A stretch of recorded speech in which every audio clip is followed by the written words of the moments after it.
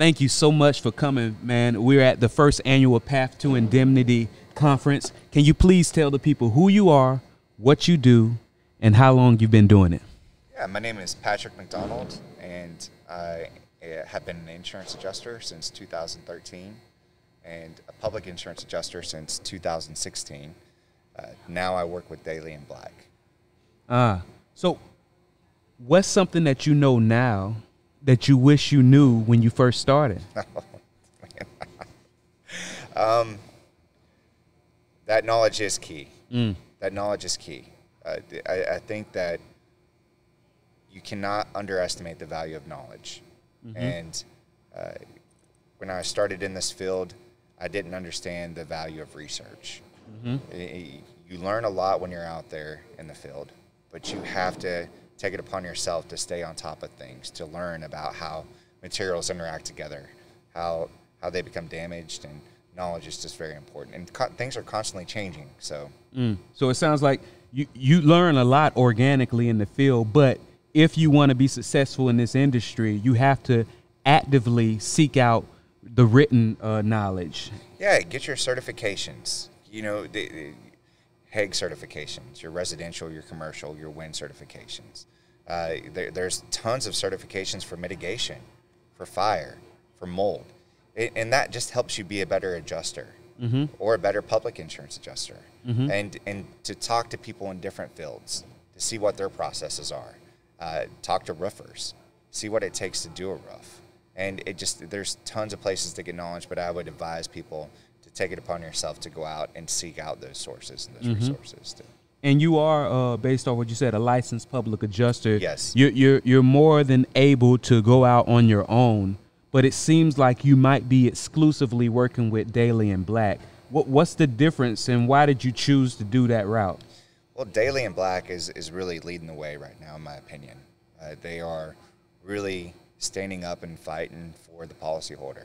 And wanted to be part of that. Mm-hmm. I seen that, and uh, I wanted to be with a team like Daly and Black. Mm-hmm. I wanted to learn. I wanted to take it upon myself to get more knowledge, like we've been talking about. Mm-hmm. And and I look and Daly and Black was that place for me.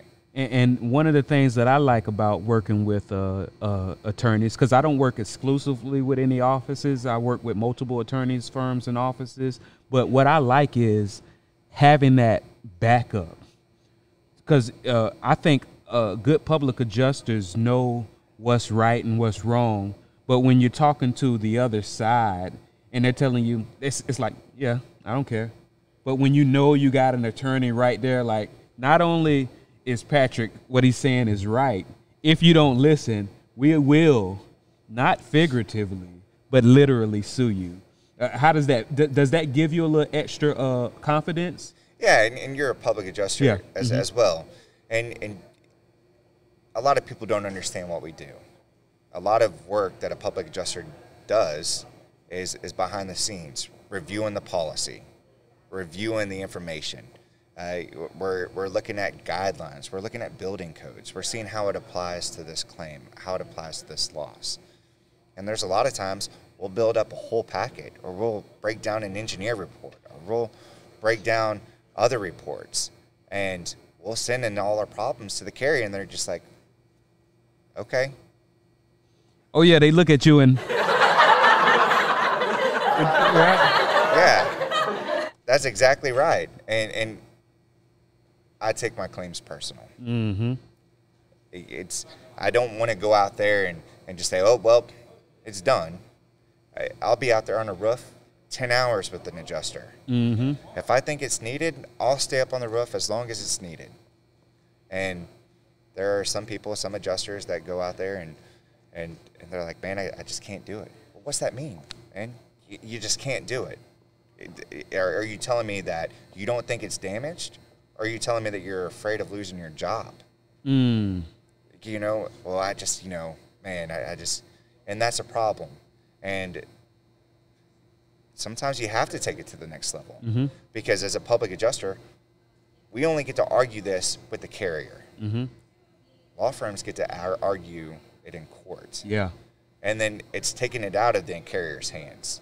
Now you've got a judge and a jury making a decision on this claim. Mm-hmm. And I feel like that's something that's needed a lot of times. So it sounds like because I think we've all had those conversations with the uh, other side where they say, "Man, I just can't do this," and we, you know, we assume that they're trying to save their job, but it sounds like you don't let them get away with just saying, "I can't do this." You force them to articulate why. Yeah, I mean, why can't you do this? Well, I, I, I just don't think it's, I, I don't think it meets our threshold. You've worked with some carriers that require six to eight hits on a 10 by 10 slope, and then other carriers that require 11 to 13. Mm-hmm. Or, you know, you're looking at hail damage. Well, this is hail damage. Oh, yeah, but, you know, or when you're talking about painting a wall, that's a continuous ceiling, or, or you know, removing contents or temporary storage. There's all these extra things that come into play. It's not that we're trying to add unnecessary things to the estimate. These things need to be added to the estimate in order for the insured to be indemnified. And one of the problems that I have is when they try to do a, a repair, like a coating on a roof. It wasn't like that before. You know, if you have damage to your car, you don't want it painted another color. Mm-hmm. Why are they trying to do that with the house? Wow. Uh huh. And so, uh, and, and that's my issue.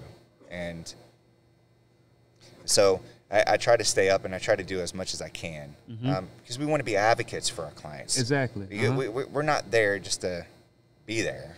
We're there to fight for them and want to add something to it. Mhm. And so, because th- that comparison you made, like taking it to a simplest form of, you wouldn't do this with your car. Why would you do this with your house? Is that something that you do? Have you found that metaphors and comparing it to what people are more closely related does it help you get things across? Uh, is that is that a part of your conversation with the insurance or even with the insurance carrier? All right, this compared to this, does that help you get your uh, argument and point across? yeah, and, and I'll tell you that I really enjoy meeting with an adjuster who's been doing it for 30 years. Mm-hmm. And a lot of times, uh, maybe the, the, the claim was denied by an adjuster who had six months. And so they sent out a more senior adjuster who's been doing it for, for 15, 20 years, who's seen a lot of damage on the home. And you go out there and, and you just have a conversation with them. You point out what you see, and you can talk adjuster to adjuster at that point in time. Mm-hmm. It's not about me winning. It's not about the carrier winning. It's about us coming together to take care of the insured. Mm-hmm. That's what it is. And that's always my argument. Look, brother, I'm not asking for anything that's not legitimate. But I do believe this is related to the claim. And I do believe that this needs to be fixed and remedied in order for the insured to be indemnified. Mm-hmm. And a lot of times, you know, the adjusters who have experience, who don't have an ego, will try to come together and, and, and, and make it happen. Absolutely. But, but it, it, it takes both parties knowing what's important. It's the insured that's important. mm-hmm. At the end of the day, the insured is the reason that we're both there. As a public adjuster and as an adjuster from the carrier, we're both there from the insured. What did you do prior to getting into the insurance industry, and had, had do you see that any of that skill set has transferred and translated to what you do now? Yeah, so I, I was a soldier. I was actually a ranger. Thank you for your Uh, service. no, I, I'm, I'm I'm so grateful I was able to do it. Um, that's really it, it was. Uh, I, I'm grateful for the time that I got to spend in the military. I, I was a ranger in Third Ranger Battalion at Fort Benning. Um, I got once I left active duty, I went into the Alabama National Guard, and uh, I worked full time for them for a while. And then in 2015, um, I broke my left leg Wow. in, in Eglin, Florida.